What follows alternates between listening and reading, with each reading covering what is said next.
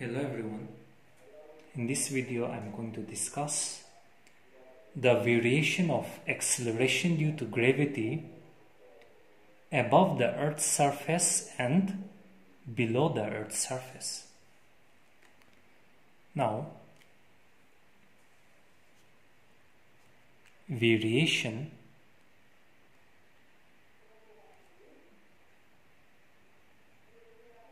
of acceleration due to gravity that is g above earth's surface.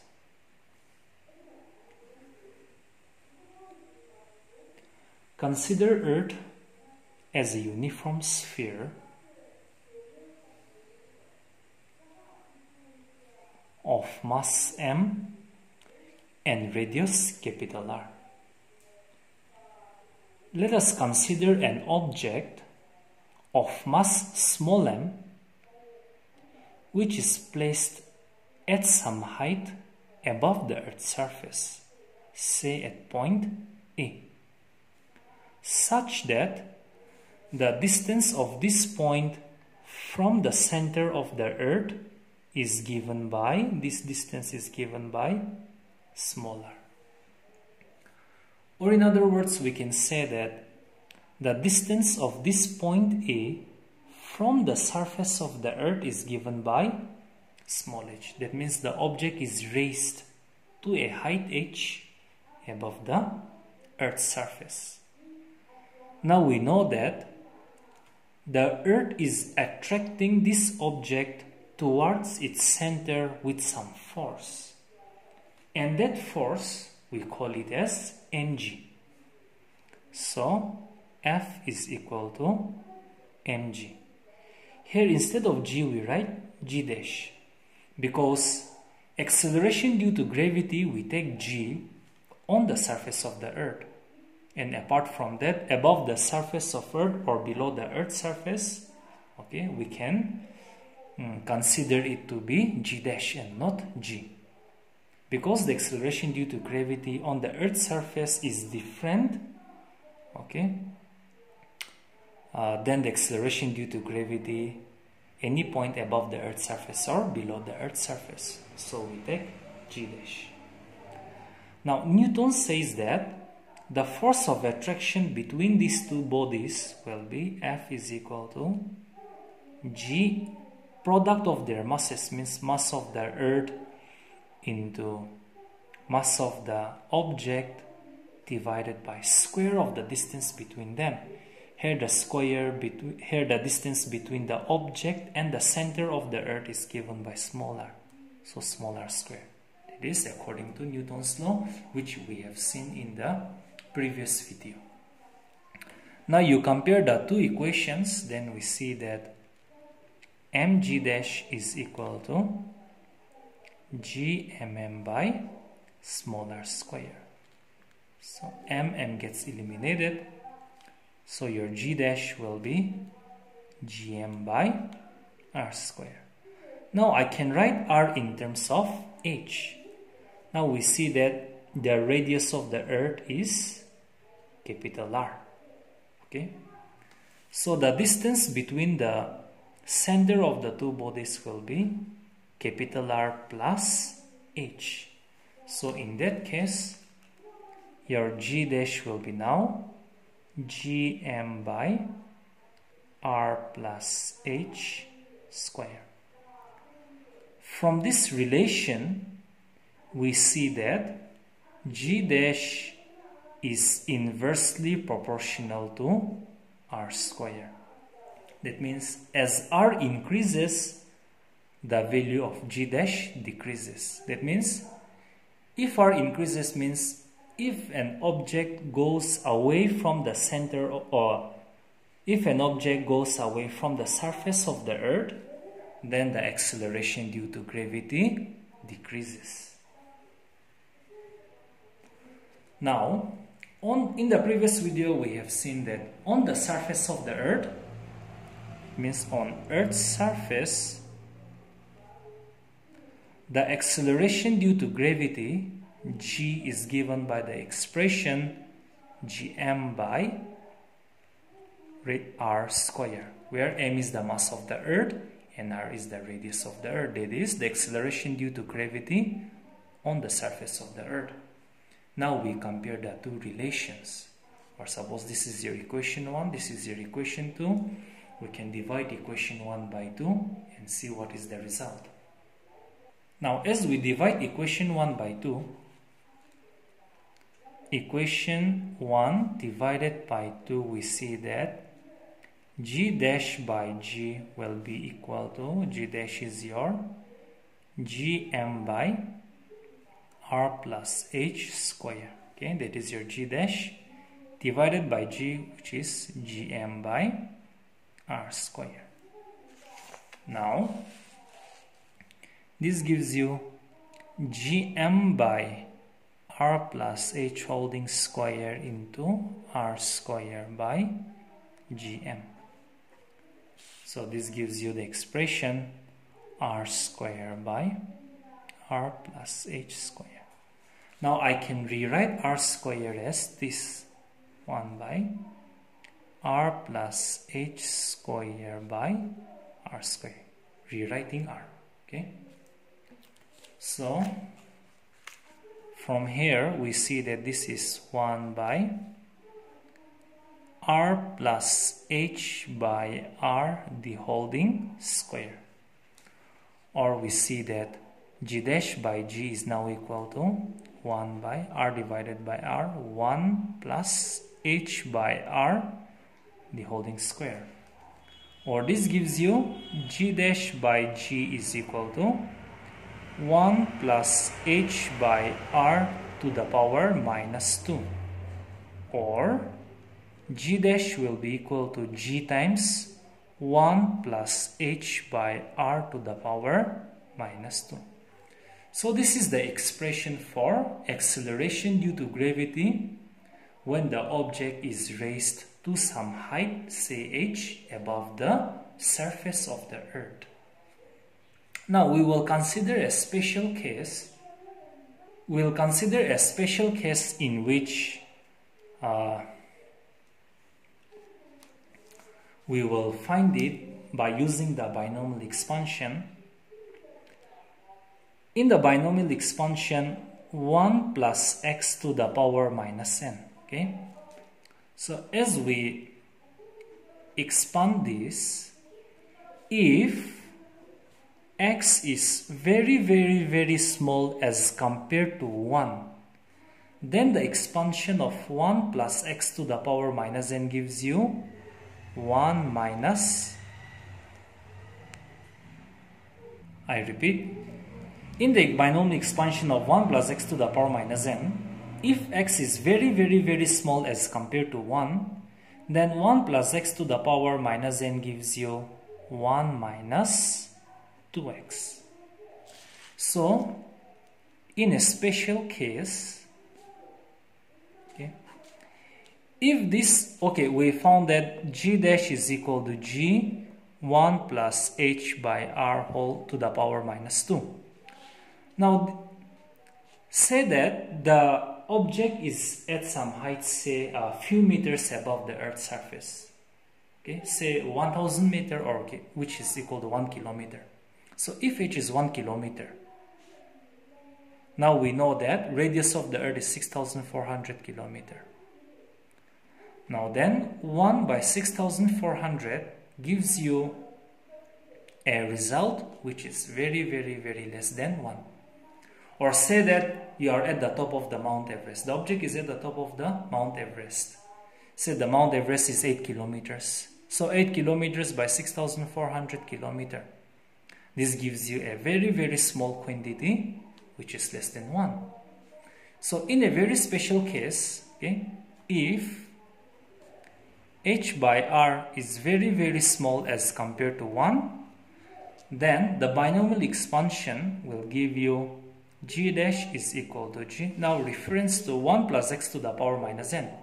If x is very very less than 1, then 1 plus x to the power minus n gives you 1 minus 2x. So using that 1 minus 2x. So 2 into your x is h by r.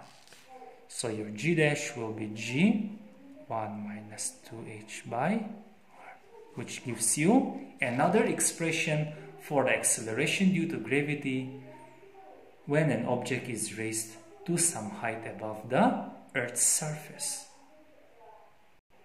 Now the second one, we are going to find out the expression for acceleration due to gravity when an object is, is at some depth below the Earth's surface.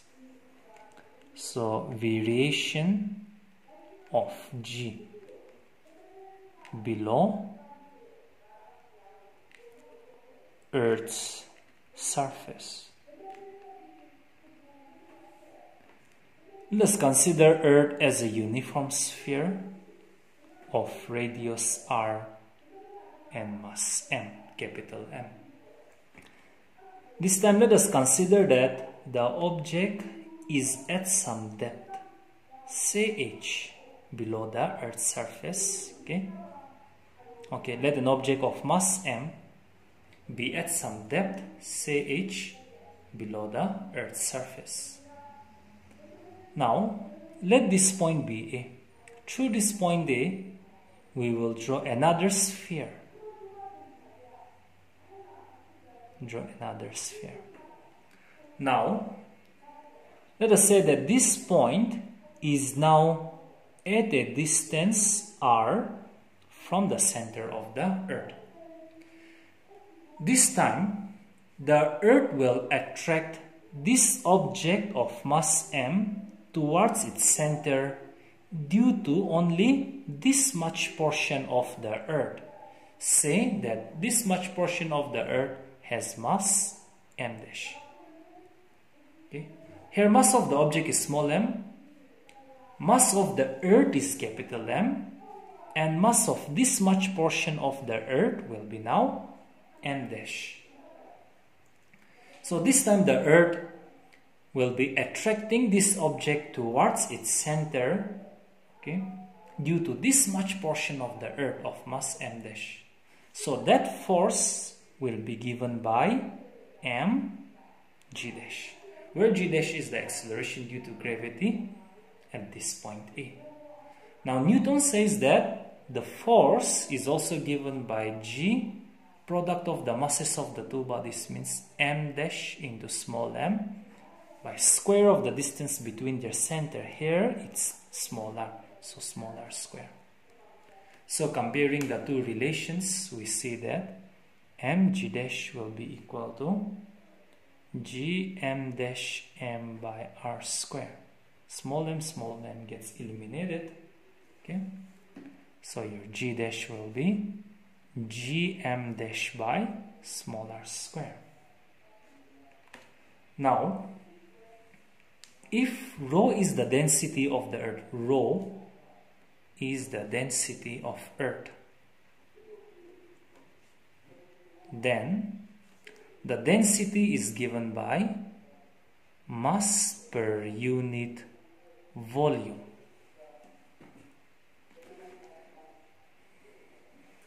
So, your mass will be given by rho density, rho into volume.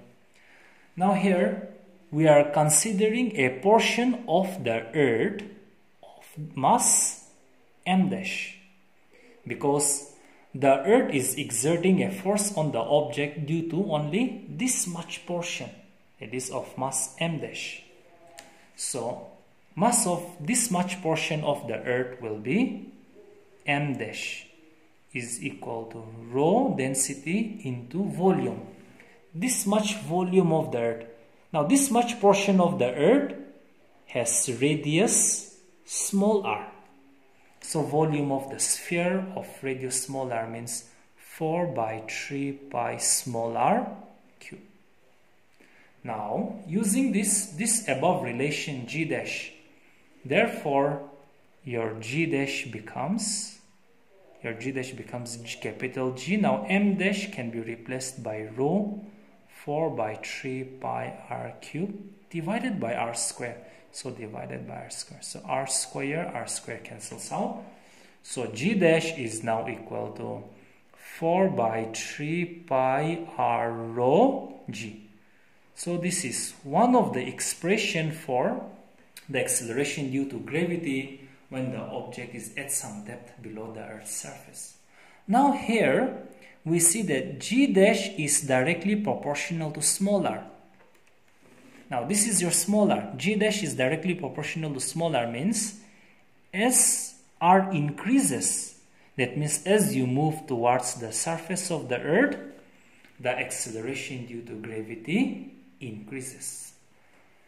Now the acceleration due to gravity increases as we go towards the surface of the earth and becomes maximum on the surface of the earth. And as we go away from the surface of the earth, the acceleration due to gravity decreases. So this is one of the required relation. Now, for the earth of mass capital M and radius capital R, the density will be given by mass per unit volume. So mass by volume of dirt of radius capital R is 4 by 3 pi capital R cube. Now we substitute the value of R in this equation that is equation number 1. Now from 1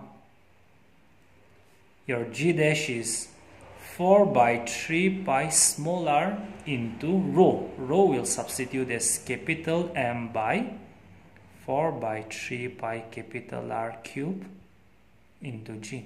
4 by 3, 4 by 3 pi, pi gets eliminated.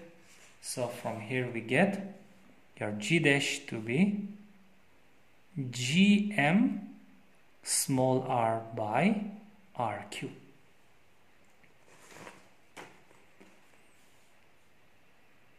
Now, if g is the acceleration due to gravity on the surface of the earth, it is on earth's surface, then we know that g is given by the expression gm by r squared. m is the mass of the earth, r is the radius of the earth.